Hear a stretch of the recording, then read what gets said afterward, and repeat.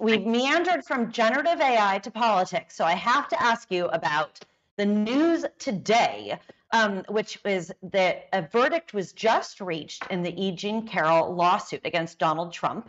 Um, Trump was found liable for battery and disinformation.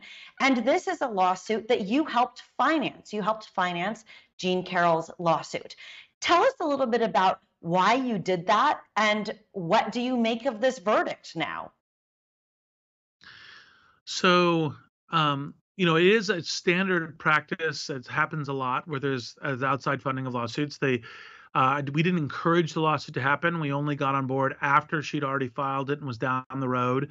So you're not trying to to create something that's that that isn't substantive real that a person isn't really doing. We, uh, my team looked at it and thought that it was a, a that that uh, her voice should be heard that because she was challenging someone who's so much more wealthy and powerful it shouldn't be squashed and that you know uh, providing that voice for you know people who are otherwise would be ground down by the system or the or the um, uh, the powerful is I think a good thing. Obviously, especially in the case of women, and obviously especially in the case of of of of sexual and other um, you know kind of um, uh, torture and and and attack and and and and you know so so providing that support was something that I was um, I felt very happy to do.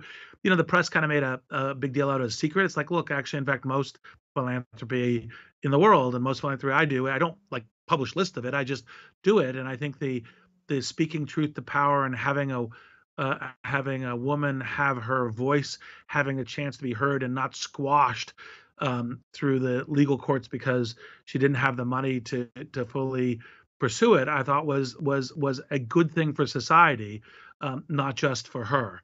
And obviously, um, the point is is that courts should go through their process, and and and the fact that the court um, found uh, President Trump guilty doesn't surprise me.